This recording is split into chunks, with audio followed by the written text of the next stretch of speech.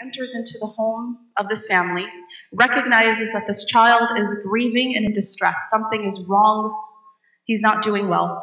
And as busy as the Prophet is, and as so much is happening in the Ummah and taking care of all the matters of the Ummah, he still recognizes what's happening with this child.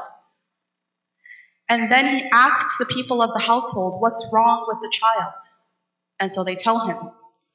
And then the Prophet, our beloved Sallallahu Alaihi Wasallam, approaches the child with so much gentleness and asks the child in a very beautiful hadith. Do you know this hadith that I'm referring to? This companion, this Sahabi, he was very young, but we still call him a Sahabi because he lived, he was a contemporary of the Prophet. ﷺ. He lived in the same time period, but he was a child.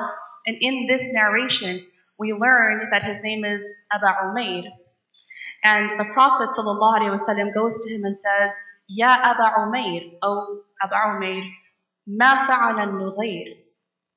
What did the Nughayr do? And the Nughayr, if you can listen to the name Umayr and Nughayr, you see that they're rhyming. And you also understand that the Prophet ﷺ, in his eloquence, is able to take, subhanAllah, right there on the spot, take the name of the boy, rhyme it with the name of a little bird. He had learned that the boy had lost his pet bird, and that's why he was so sad and upset, and he clearly showed it. And when the Prophet heard this from the family members, he didn't just dismiss it and go, oh, it's just a pet, moving on. No, he actually was tuned into the child and was able to what? Go to him and look at how he actually asked the question. He asked him, Oh Aba Umayr, what did the Nughayr, what did the bird, do? Not what did you do to the bird, right? And so, and nor did he dismiss it, and nor did he belittle it, nor did he minimize it, nor did he blame him.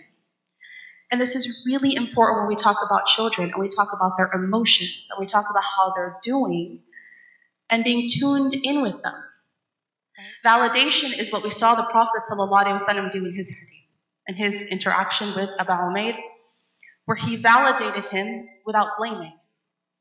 He essentially, in the, in the question and the way he asked it, there was a validation in that this is okay. It's not your fault. Hence his using, what did the bird do? And not what did you do to the bird?